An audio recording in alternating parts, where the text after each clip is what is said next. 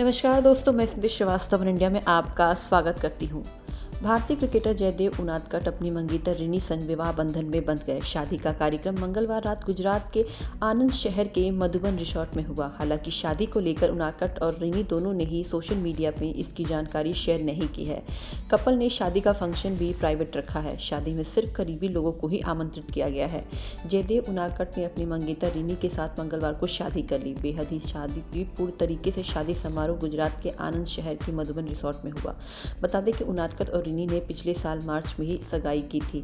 2010 में under 19 world cup में कप्तानी करने वाले जयदेव उनाटकर 2 फरवरी को शादी के बंधन में बंध गए। उन्होंने पीछे से वकील रिनी कंतारिया के साथ साथ फेरे लिए। उनकी वाइफ गुजरात हाई कोर्ट में वकील हैं। दोनों ने अपनी शादी को बेहद ही प्राइवेट रखा। सोशल मीडिया पर किसी भी तरह की कोई जानकारी शेयर नहीं की गई थी। हालाँकि उनकी हल्दी की कुछ फ़ोटो सोशल मीडिया पर वायरल हो रही है।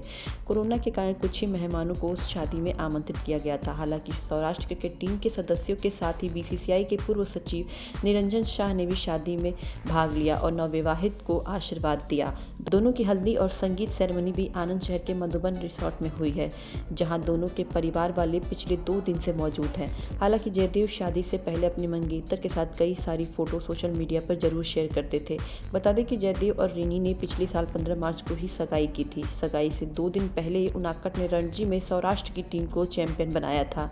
जयदेव उनादकर भले ही भारतीय क्रिकेट टीम के लिए ज़्यादा समय तक नहीं खेल पाए हों, लेकिन वो आईपीएल के स्टार खिलाड़ी हैं।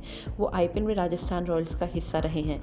80 पारी में उन्होंने 2420 रन बनाए हैं, जिसमें उनका बेस्ट स्कोर इक्यासी का रहा है। इसके साथ ही उनके क्रिकेट करियर की बात करें तो उन्होंने 2010 में अपने इकलौते टेस्ट मैच में 101 रन बनाए थे। वहीं सात वनडे में 209 और 10 टी मैच में 301 रन बनाए हैं। फ़िलहाल के लिए खबरों में इतना ही। तमाम अपडेट्स के लिए देखते रहिए वन इंडिया।